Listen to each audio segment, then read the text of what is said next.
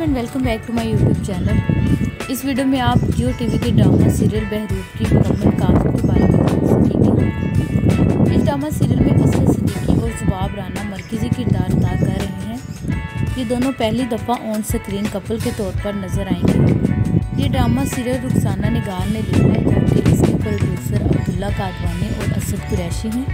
इस drama serial की story jealousy और हसद पे है, जो कि ज़िंदगी को बर्बाद कर सकती है।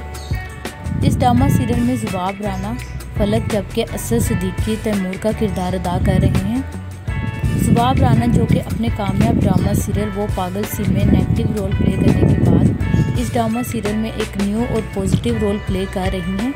इनके इस ड्रामा सीरियल में रोल को काफ़ी ज़्यादा पसंद किया जा रहा है।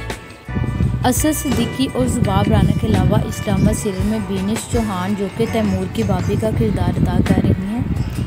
इनको भी इस ड्रामा सीरियल में नेगेटिव रोल में दिखाया गया है। इनके अलावा असद सिद्दीकी के ऑपोजिट रोल में इस ड्रामा सीरियल में सुमैया बख्श काम कर रही हैं। इनके अलावा इस ड्रामा सीरियल की कास्ट में और भी बहुत से टैलेंटेड एक्टर शामिल हैं। आइए देखते हैं ड्रामा सीरियल की मुकम्मल कास्ट